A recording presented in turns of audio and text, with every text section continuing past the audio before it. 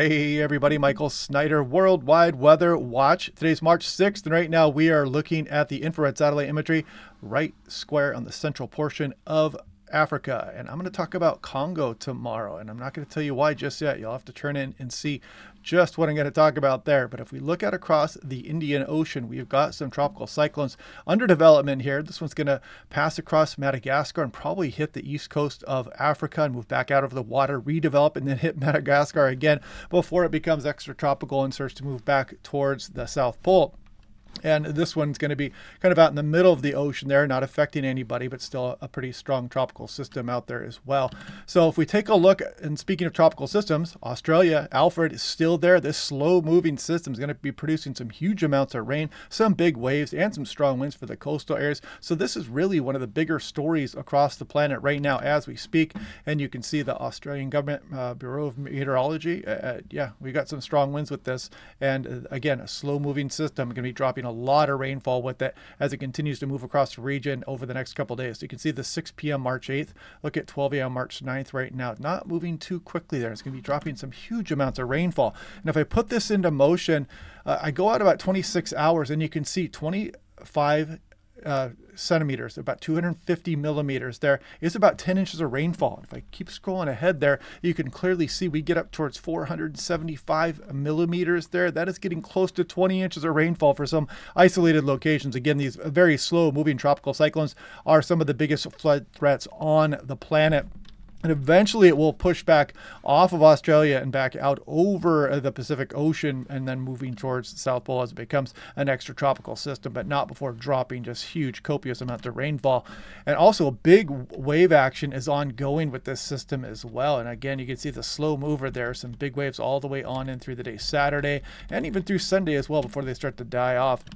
Now, just a heads up across the southern hemisphere there, that they just went into their meteorological fall, just came out of summer, and we are the exact opposite. We just came out of the meteorological winter in the northern hemisphere, and now we're off into meteorological spring.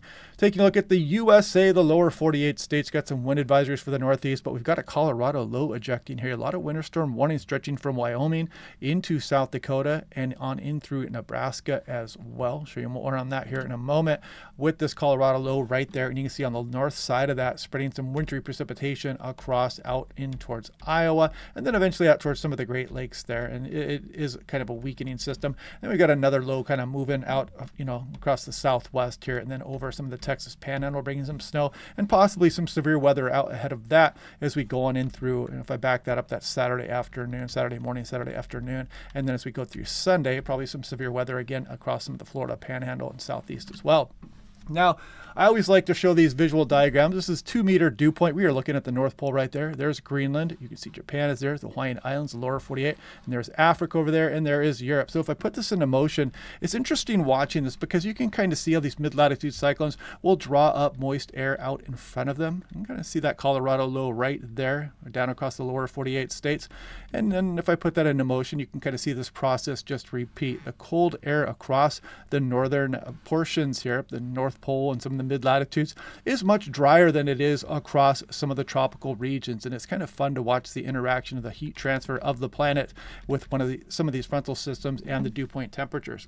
So also something else I want to point out, and one of the things I'm going to highlight in today's video is Tornado Alley here across the lower 48 states, North America. This is probably, without a doubt actually, the most prime area for severe weather. You've got a big mountain range. You've got a desert to the southwest, and you've got access to very warm, moist air and cold, dry air moving down from Canada. So all those things line up, and that's why severe weather is so prevalent here across the central portion of the USA known as Tornado Alley. You really would have a hard time drawing up this severe weather threat on a general synoptic region-wide scale better than what Tornado Alley is. I mean, just perfection with the Rocky Mountains and the Gulf of Mexico there, and again, the Southwest Desert and the cold air coming down from Canada. So this diagram kind of wraps that or brings that together for you here, Tornado Alley here. And honestly, this would stretch off a bit more, and you get plenty of severe weather down here across the southeast as well as these storm systems move across. But you can see this would be the, where the dry line is, where this warm, dry air comes off the higher terrain. And so it, this also brings something known as the elevated mix layer, which will cap a lot of the activity during the morning and early afternoon hours before finally the surface heating gets going enough where you break that cap and you can just absolutely grow these huge, some of the biggest, baddest thunderstorms on the planet. And that's why Tornado Alley is such a favorable setup. Then the access of, or the access to uh, the Gulf of Mexico, the very warm air moving back up into the central plains here is a big part of that as well. And this is astounding. So this, I believe, just May 20th on 2013. I was actually out chasing this in Oklahoma on this day. But you can see this cap. So this is the temperature profile. You're at the surface. You're about, what, 70 degrees or so. And you can see the temperature drops off a little bit as you go up. But then look at that nose of warm air there. So you can imagine you can't get cloud uh, uh development further than that. just would run into that cap right there in the atmosphere. So that keeps things capped. And then we go to 18Z here, which is about, what, 10 a.m. So you're looking about noon noontime uh, Oklahoma City there. And again, you can see the cap is still uh, present there, but the surface temperatures are warming. And then you continue to get these cumulus building and trying to uh, punch through this cap. And eventually it did so. And this was the EF5, the Moore tornado of May 20th, that eventually came through with this very favorable wind profile at the surface and aloft. Eventually broke through this cap as the surface heating continued on in through the day. So the elevated mix layer kind of keeps things primed through the day and doesn't let that convection break through too soon. So when it does, that convection can be extremely strong. And the parcel of air you can imagine would be something like that. And There'd be this huge cape profile, very strong, robust updrafts, enough to, enough to create an EF5 tornado in this case. And then you can look through things like the 25 year uh, average number of tornadoes per state by month, all tornadoes. This is from 1999 to 2023. And you can kind of see how this comes on April. There's May in the center, and there's June right there. And, you know, some states are still keeping some active tornado activity all the way on in through August there as well. And of course, March starts to ramp up there a bit also. And you can see Texas kind of in the red there as well. And then again, here is the summary of recorded EF3, EF4, and EF5 tornadoes from 1950 to 2000 six, and you can clearly see the pattern. Again, one of the most favorable setups the most favorable setups on the planet here. And you know, I, what my mind does is I, I kind of dream about other planets across the entire universe. There's probably some other Earth-like planets out there. There's probably actually quite a few of them actually, and I th- would have to think that this setup would probably be in the 95th percentile for favorability of these severe kind of storms. You know, if you could break it down just by Earth-like planets here. But yeah, perfect setup there with the Rocky Mountains, the Gulf of Mexico, and the desert Southwest off to the west. So anyway, back to uh, the global forecast here. I'm going to put this into motion. You can really see the heavy rainfall that some of these tropical systems can drop. There's Alfred right there on the east coast of Australia, the one that is supposed to come towards Africa, um, and then you can see the one out in the middle there. But you can also see some other systems coming into the Pacific Northwest, the west coast of North America, California being pretty wet here over the next week or so. And you can also see the intertropical convergence zone ongoing at times as well. Now, let's take a look at the South Pole. So um, if I put this into motion, there's Hyundai, I believe that's how you pronounce it, and you can kind of see the heat transfer taking its, uh, you know, completing its path, let's call it, as that system moves down back and gets caught up in the westerlies there. And look at uh, Antarctica here with its, you know, kind of a protective cold air around it. These octopus arms swinging around. These would be where the mid-latitude cyclones are developing. So let's back that up, and I want to show you that system. It's moving across the top of Madagascar right there. You can kind of see that cold core system right there makes landfall back into Africa, comes back and hits Madagascar again, then moves back out over the open water, and finally gets caught up in the westerlies. And you complete the heat transfer from some of the very warm tropical systems there, bringing their heat back towards the polar regions.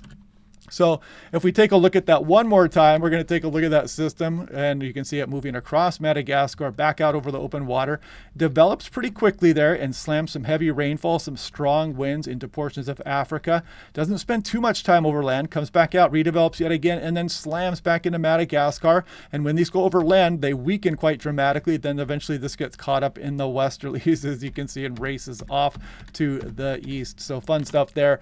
And uh, yeah, so I was also looking up the Southern Oscillation Index value. You can also see that the pressure um, is starting to switch up a little bit here. This is the difference between Tahiti and Darwin, and we are starting to go down. We're getting a little bit closer to the zero line there. So this is kind of a sign that La Nina is on the wane and this is the Walker circulation. So basically what I was showing you is the pressure is still higher over Tahiti versus Darwin, Australia.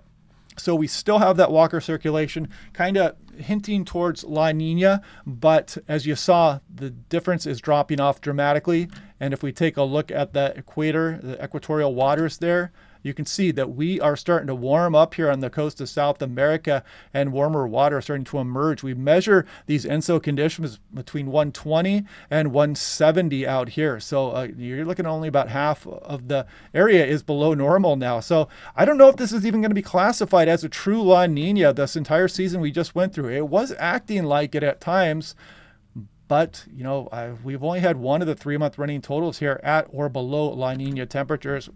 And you can see the European kind of has it where it did spend, you know, one, two, three months. Maybe it'll end up being just barely borderline La Nina, but we are clearly going to be warming things up as you saw in the sea surface temperatures. And we're probably going to be headed towards some type of a neutral scenario as we go through next year as well, which can be pretty active for some portions of the planet as well. Now, uh, something else I like to show at times is lightning strike density. This is over the last 24 hours. And if I just put that in motion, you can see the frontal system coming and moving off the east coast, the Amazon rainforest, the intertropical convergence zone out there as the planet's weather patterns just continue to churn non nonstop. So um, this is a wide view of things, equatorial look at the entire planet. This is two meter temperature. So as we go through, let's go to, towards this afternoon. In fact, let me update that because I believe we have 18Z data and we do. Let's scroll off here, here towards the, the afternoon hours. And you can see, you know, the USA relatively chilly here. You know, you just got out of summer for the Southern Hemisphere, so things are still pretty warm across Australia and a lot of Africa as well. And you can see it was just winter across the Northern Hemisphere, Greenland, portions of Siberia pretty cold, Antarctica is always cold. But we put that into motion, and you can, if you look closely, you can see the outflow boundaries kind of bouncing around the deep tropical convection, drop in their gravity waves. These will move along the ocean surface and run into other outflow boundaries and create additional thunderstorms, and the process will repeat. And you can also see the diurnal and the nocturnal cycles. For example, there's the diurnal warm up there across South America. Then you go through nighttime and it cools down. Sun rises back up again and you warm up again. You repeat the process. And you can also see the mid latitude cyclones and the frontal systems moving across in the two meter temperatures as well. So always fun to look at that stuff. And yeah, tomorrow we will talk about the Congo and Africa. Today we talked about Tornado Alley a bit, and we'll go ahead and do that. Yeah, and I'll share some fun facts about Congo, Africa. Kind of an interesting thing that goes on there as well. So anyway, hope you guys are liking these videos. Click like and subscribe. I will talk to you guys tomorrow.